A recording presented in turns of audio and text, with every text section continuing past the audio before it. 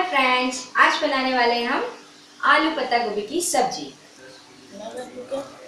हमें चाहिएगा प्याज, बारीक कटा हुआ, शिमला मिर्ची बारीक कटी हुई, आलू थोड़े से बड़े कटे हुए, ये साइज़ के, और पत्ता गोभी बारीक कटी हुई, हरी मिर्ची बारीक कटी हुई, और टमाटर बारीक कटा हुआ।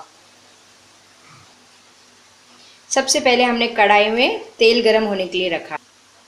अभी हमारा तेल गरम हो गया है, हम इसमें डालेंगे थोड़ा सा राई, जीरा।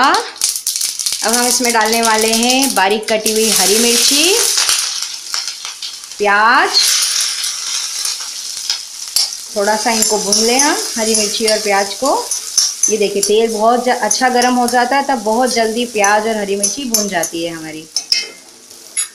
अब हम इसमें डालेंगे कैप्सिकम। आलू और पत, बारीक कटा हुआ पत्ता गोभी। ये देखिए, अब हम इन सबको मिक्स करेंगे।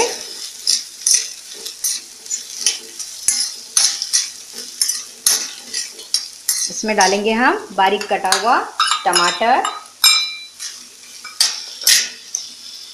थोड़ा सा हल्दी पाउडर और नमक।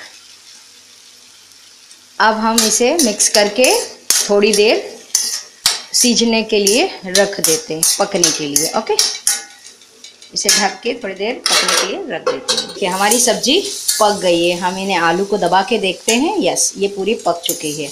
अब हम इसमें डालेंगे थोड़ी सी लाल मिर्च पाउडर।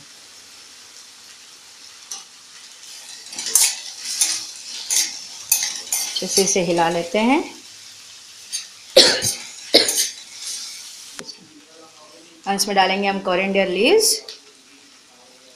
और अब हमारी सब्ज़ी रेडी हो चुकी है। ये आज हमने बनाई है, पत्ता गोभी की सब्ज़ी, आप भी बनाइए।